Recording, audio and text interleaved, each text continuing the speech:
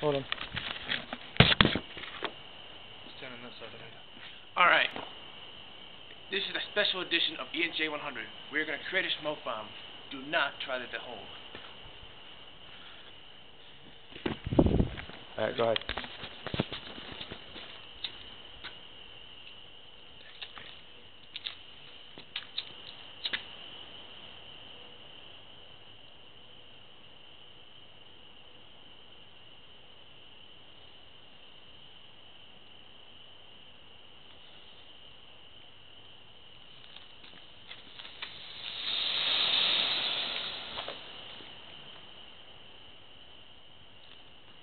Wow.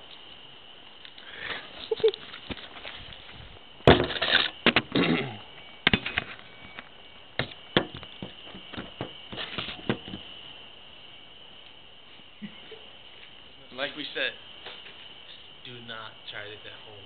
Never, unless you have experienced um, smoke alarms and stuff like that. Or an experienced pyrotechnic.